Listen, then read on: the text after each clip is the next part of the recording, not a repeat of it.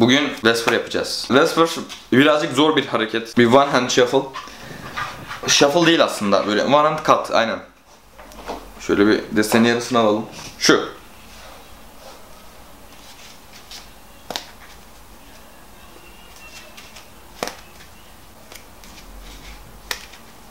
Yani tek elle kesiyorsun ama birazcık zor bir şey. Zor bir hareket. Hadi o zaman tutorial'a geçelim.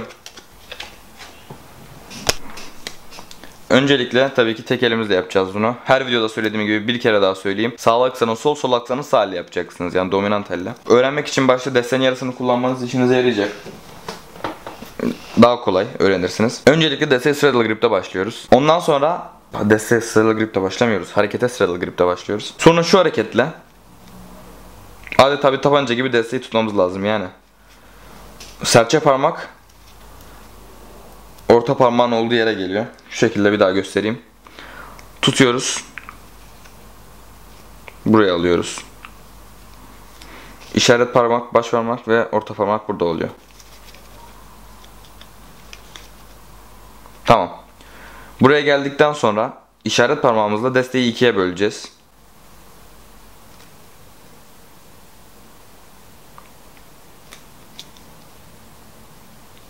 Ondan sonra alttaki paketi yani şu şurada duran paketi aşağı serçe parmağımıza düşürmemiz lazım. Demek istediğimi şimdi daha rahat anlayacaksınız.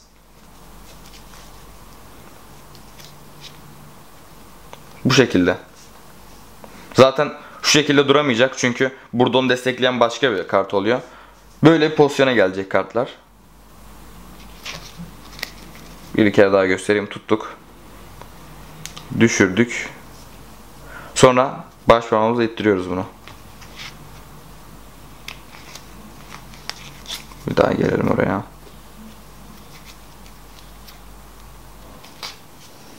Şuradan bir daha gösteriyorum. Ayırdığımız zaman iki parmağımızla tutarak baş parmağımızla ittiriyoruz. Birbirine dik kesecek şekilde koyuyoruz katları. Ondan sonra buraya kadar yaptığımızda şurada kalan paket yani ikinci paket işaret parmağıyla ve baş parmağın yardımıyla bir L yapmamız lazım önce. Bir daha göstereyim. Böldük. Bu şu kart, şu paket düşmeden baş parmağımızı ettirdik. Bir dik yaptık. Sonra buradaki pakete baş parmak ve işaret parmağıyla hafifçe buraya koyduk.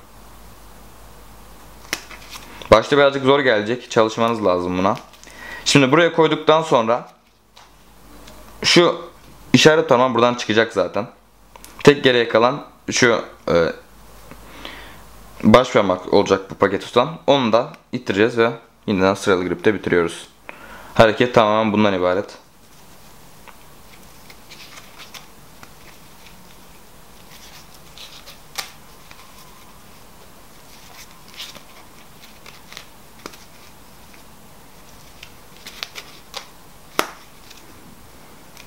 Son bir kez yavaşça göstereyim.